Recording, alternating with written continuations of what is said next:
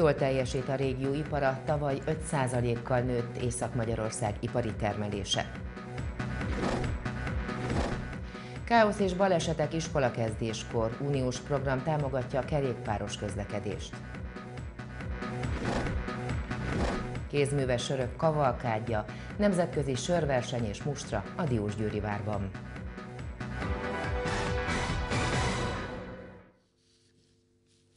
Tizennyolc óra van jó estét kívánok, április 12-én csütörtökön híradónkat látják, jönnek a részletek.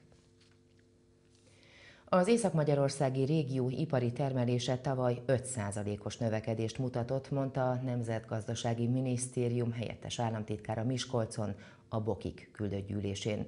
Pomázi Gyula szerint az ipar technológiai korszakváltás előtt áll. Naponta többször is fordulnak a teherautók a déli ipari park területén akkumulátorgyár épül itt. Miskolcon hozza létre első európai üzemét a japán GS USA. De számos más cég is megvetette már a lábát Miskolcon, többek között autóipari fejlesztő és beszállító cégek. Az ipar ma technológiai korszakváltás előtt áll, ezt mondják a szakemberek. Szeretnénk, hogyha a kamara ebben az évben eh, a vállalatok számára meg tudná mutatni, rengeteg információ átadásával, esetleg jó vállalati minták bemutatásával, hogy milyen kihívások, feladatok állnak előttük. Az Észak-Magyarországi régió ipari termelése tavaly 5%-os növekedést mutatott. Az első fél évben pedig 2,9% fölött van a növekedés mértéke a régióban. Ez azt jelenti, hogy az átlaghoz képest is jól teljesít a régió ipara. A járműgyártás mellett pedig számos meghatározó ágazat is képviselteti magát Miskolcon. A digitális technológiák jelenléte ma már elengedhetetlen, hangzott el a Bokik közgyűlésén. Technológia adja a versenyképességi elemeket, és az pedig az iparnak a digitalizációjával valósítható meg. Ezért rettenetesen fontos az ipar 4.0-nak az értése, gyakorlása és bevezetése a hétköznapi gyakorlatban a vállalatok minden, élet, minden területén, a vállalati élet minden területén. Gondolok itt a nagyvállalatokra, a középvállalatokra, a kisvállalatokra vállalatokra is. Idén 54. küldött gyűlését tartotta a megyei iparkamara Miskolcon. A népkerti vigadóban elfogadták többek között a tavalyi év beszámolóját, az idei év munkatervét és költségvetését is. Bosodaboly Zemplén megyében az 1-es és 2-es körzetben több mint 99 ezer ember ment el szavazni április 8-án. A megyében a hét egyéni választókerület mindegyikében a Fidesz-KDNP jelöltjei győztek. Az egyes körzetben a jobbikos jelölt második lett, a kettesben pedig harmadik. Itt az MSP párbeszéd jelöltje végzett a második helyen. Értékelésre kértük őket, de nem minden vesztes vállalta. Április 8-án választott az ország. A Fidesz-KDNP nagy fölénnyel győzött, vidéken néhány kerület kivételével mindenhol a Fidesz-KDNP jelöltjei álltak az érre. Borsodabói Zemplén megyében az egyes körzetben a választásra jogosultak csak nem 70%-a, a kettes körzetben pedig több mint 68%-a, azaz összesen 99.334 ember ment el szavazni április 8-án. Köszönöm nektek, mindenkinek, aki segített. Az egyes választókörzetben a Fidesz-KDNP és Csöbör Katalin maradt az országgyűlési képviselő, Jakab Péter 775 szavazatával csak második lett. Adásunkig a Jobbik jelöltjét nem tudtuk elérni. Jakab Péter április 8-án az eredményváron még azt mondta, győzelemre számítanak, és úgy fogalmazott, ennek érdekében mindent megtettek. Egy program alapú kampányt folytattunk, amely azt gondoljuk, hogy kellőképpen eh, képes volt mozgósítani a miskolciakat és a környéken élőket, hiszen nem a gyűlöletkeltésre fogékonyok az itt élő emberek, hanem arra, hogy ki milyen programot tesz le az asztalra. Debreceni Józsefet, a DK képviselő jelöltjét is értékelésre kértük, de nem nyilatkozott híradónknak. A választás napján azonban igen, akkor még optimista volt és győzelemre számított. Természetesen győzelemre számítok. A magas részvétel az azt hiszem mindenütt az országban az ellenzék esélyeit növeli. Én arra számítok, hogy mind a két Miskolci körzetben az ellenzék, pontosabban Marga László és én nyerünk. Az egyes választó körzetben a negyedik helyen Fodor Zoltán végzett. A független képviselő jelölt és Miskolc hetes választó körzetének jelenlegi önkormányzati képviselője azt mondta, ha nem is nyert, de annyi haszna volt, hogy ma már tudja, mekkora a szavazó bázisa, és azzal teljes mértékben meg van elégedve dolgozok tovább. Nekem a választósi mandátumom az jövő év, nem tudom, október-novemberikor kírja majd a kormány a helyi önkormányzati választás, addig tart. Én teszem a dolgom, nekem itt van 13.875 ember a körzetemben, én ezekre fogok dolgozni továbbra is ezt a másfél évet. Visszahódítottuk, visszavettük az MSZP-től. A kettes választókörzetben Hubai György lett az országgyűlési képviselő, aki az MSZP és Varga Lászlót váltotta. A korábbi képviselő 4151 voksal kapott kevesebbet, mint a Fidesz-KDNP és Hubai György. Megkerestük Varga Lászlót, de ő sem állt kameránk elé. Pakusza Zoltán is a kettes választókörzetben indult. Ma a Jobbik jelöltje sem adott nekünk interjút, de vasárnap még az eredmények kihirdetése előtt úgy nyilatkozott, Miskolcnak változnia kell. Hát én azt gondolom, hogy nyilvánvaló, hogy az, hogy sokan nem mentek szavazni, az azt jelenti, hogy vélhetően elégedetlenek azzal, ami jelenleg van a, a, magyar politikában, és ennek megfelelően magasan alakultak a részvételi arányok. Pakusza Zoltán, Hubai György és Varga László után a harmadik helyen végzett 13.496 szavazattal. Május 8-áig az összes politikai hirdetést el kell távolítani a közterületekről. Ez a jelölő szervezetek, pártok feladata. Ha nem teszik meg, az önkormányzat elvégzi helyettük a munkát, de a díjat kiszámlázzák a plakátok tulajdonosainak. A választásnak már vége, de a plakátok továbbra is az országgyűlési képviselő jelölteket és pártokat hirdetik az egész városban. A kampányidőszakban a pártok és a jelöltek engedély és bejelentés nélkül készíthettek plakátot, és néhány kivétellel szinte korlátozás nélkül ki is helyezhették azokat. Magára a plakátoknak a mennyiségére vonatkozóan nem voltak előírások, tehát gyakorlatilag bármennyit el, el lehetett helyezni. A választás után azonban az összes politikai hirdetést el kell távolítani a közterületekről. A választási törvény előírásai alapján a választási plakátokat a jelölő szervezetek, azok, akik kihelyezték, vagy akinek az érdekében ezeket a plakátokat kihelyezték, a választás napját követő 30 napon belül el kell távolítani, vagy ennek a költségét viselni. A határidő tehát május 8-a. Akik eddig az időpontig nem szedik le a plakátokat, azok helyett az önkormányzat távolítja majd el. Ennek a költségét viszont a pártoknak, jelölőszervezeteknek, jelölteknek ki kell majd fizetniük. Iskola kezdéskor és tanítás végén drasztikusan megnő a forgalom az utakon. Ma már szinte minden szülő autóval hozzá is viszi gyermekét, ami közlekedési dugókhoz, de akár balesetekhez is vezethet. A Budapesti Közlekedési Központ kidolgozott egy unió által is támogatott programot, amelyben arra biztatják a diákokat, a tanárokat és a szülőket, hogy a közösségi közlekedés mellett gyalog vagy kerékpárral menjenek iskolába. Beköszöntött a jó idő, egyre többen veszik elő kerékpárjukat. Ahhoz azonban, hogy kora reggel munkába vagy iskolába menet is előkerüljenek a kétkerekűek, a közlekedőknek komoly szemléletformálásra van szüksége. A szülők sokszor saját kényelmüket előtérbe helyezve szinte az iskola bejáratáig viszik kocsival a gyerekeket. A Könyves Kálmán általános iskola előtti szakaszon már több baleset és konfliktus is volt ebből. Az első lépésben a Városházával egyirányosítottuk az utcát. De ez sem hozott eredményt, ezért Zsák utca lett az iskola előtti útszakasz.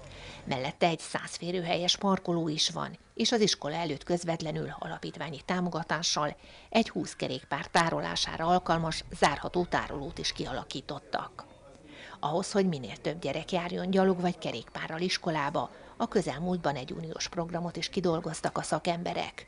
A program eddigi budapesti tapasztalatairól ma számolt be a közlekedési központ munkatársa, a Diósgyőri iskolák pedagógusainak, vezetőinek. Egy olyan előadást hallgathatnak meg, amelyik egy nemzetközi projekt budapesti megvalósítása kapcsán mutatja azt meg, hogy hogyan lehet a közlekedési munkamegosztáson belül a fenntartható módoknak, tehát a gyaloglásnak és a kerékpározásnak az arányát növelni, kifejezetten az iskolába járásra vonatkozóan. Egyelőre a Diósgyőri városrész iskolái kapcsolódhatnak be a programba, ahol őszre a kampány már komoly eredményeket kíván felmutatni. Már javában zsűrizték a söröket a 12. nemzetközi sörversenyre. A Diósgyőri várban 7 ország 86 főzdéje csak nem 300 sört küldött be. A Kisüzemi Sörfőzdék Egyesületének történetében most először sörmustra is kapcsolódik a versenyhez. A Diósgyőri várban holnaptól 40 kisüzemi sörfőzde 80 féle sörét lehet megkóstolni. Dolgozik a zsűri köztük Késmárki Katalin is. Sok férfi irigykedhet, ugyanis kora délutánig csak nem 20 sörfajtát kóstolt végig, persze fajtánként csak két kortyot, bármilyen jó ízű is az ital. Itt ugyanis a pálinkával ellentétben le kell nyelni a sört, mert csak így minősíthető a kortyérzet, illetve a széndiokszid szénsav tartalom. Már a 18. sörömnél tartok, úgyhogy, úgyhogy ez egy elég érdekes munka ilyen szempontból. Van még vissza hat sör, amit, hat sörtípus, amit még végig fogunk a mai nap folyamán kóstolni. Hát örülünk annak, hogy nagyon sokszínű, érdekes söröket láthattunk, kóstolhattunk. Annak örülünk, hogy kevés ízhibás sörrel találkoztunk idáig. A Miskolci sörmustra az egész országban egyedülálló, és az érdeklődés is egyre nagyobb. Idén már 7 ország, 86 főzdéje csak nem 300 sört küldött be. A zsűri tagok számát is meg kellett duplázni, annak érdekében, hogy jól haladjanak a munkával. Már két évvel ezelőtt is csúcsokat döntöttünk, ugyanis akkor már szá, közel 150 nevezett sört bírálta akkor 24 tagú zsűri. Most 268 nevezés érkezett, ebből meg is érkezett majdnem mintát, 260 minta be is érkezett. Ezt nem is tudja a zsűri, hiába bővítettük a létszámát 50 főre, nem is tudja egy nap alatt lebírálni. A Kisüzemi Sörfőzdék Egyesülete 22 éve minden második évben rendezi meg nemzetközi sörversenyét.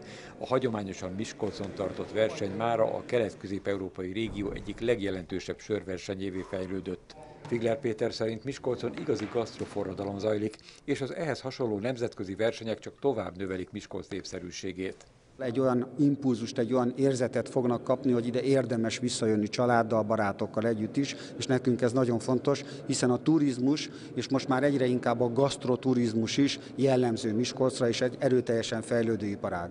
A verseny után pénteken és szombaton már a kézműves sörök kedvelőit is várják a Diósgyőri várban, ahol csak nem 40 kisüzemi sörfőzde mutatja be 80 féle sörét. Minden főzde standján maga a tulajdonos vagy a sörfőző áll majd a csapok mögött, így az érdeklődők kulisszatitkokat is megtudhatnak, de kulturális programok is lesznek.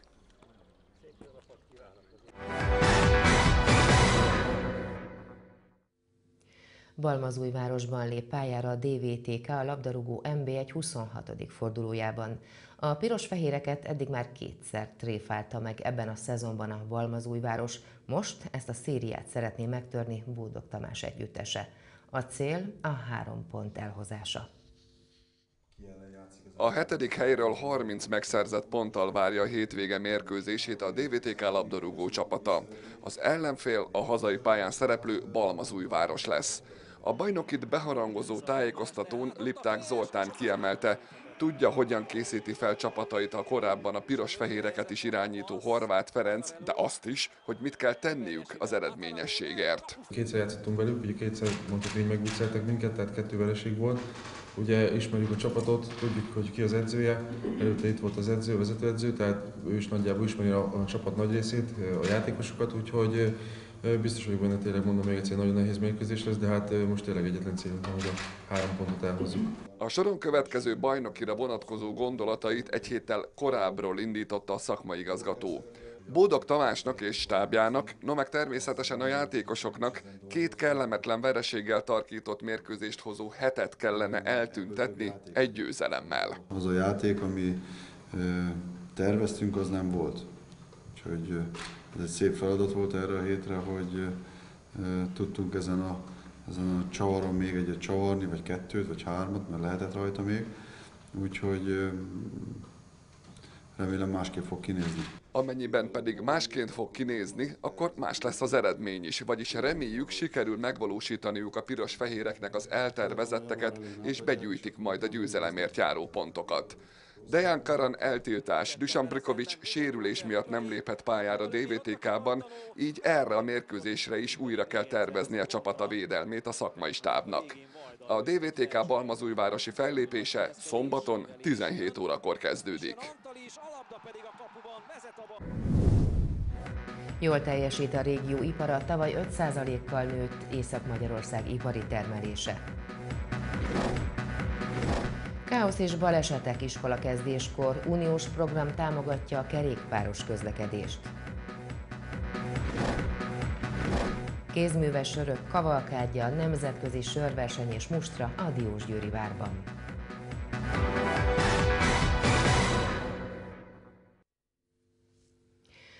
Napszemüveget holnap érdemes esernyőre cserélni, éjszakától záporeső, zivatar is kialakulhat, ami egész nap folytatódik. A felhőzet az talán, talán csak az esti óráktól szakadozik majd fel. Időjárásról bővebben híradónk után. Friss hírekkel holnap este 6 órakor is várjuk Önöket, a minap.hu riportjainkat újra nézhetik. Várjuk észrevételeiket, és írjanak nekünk az infokukacmikon.hu e-mail címre. Iradót készítő kollégáim nevében is köszönöm figyelmüket, további szép estét és jó tévézést kívánok. Viszontlátásra!